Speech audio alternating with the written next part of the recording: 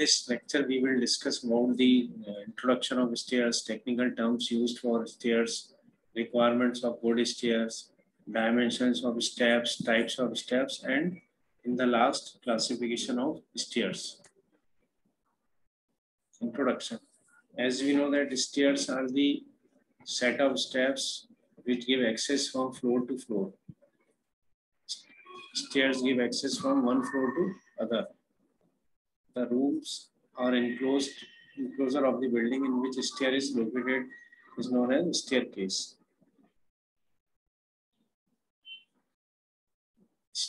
Stairs provide us a vertical uh, circulation or vertical movement in the buildings. And stairs are constructed from different uh, types of materials like timber, brick, stone, steel, RCC, etc. The technical terms used in the stairs are, first one is the step.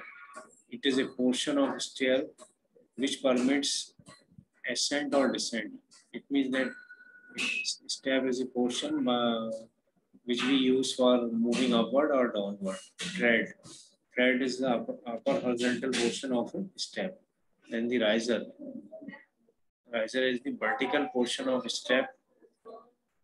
Landing. Is the level platform at top or bottom of a flight between the floors.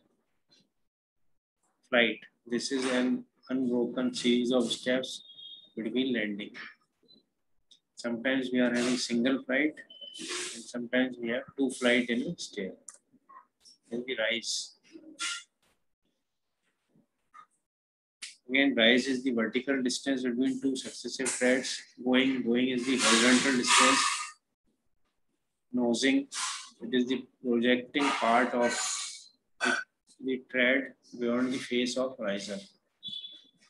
Scotia, it is a molding provided under the nosing to provide strength to the nosing.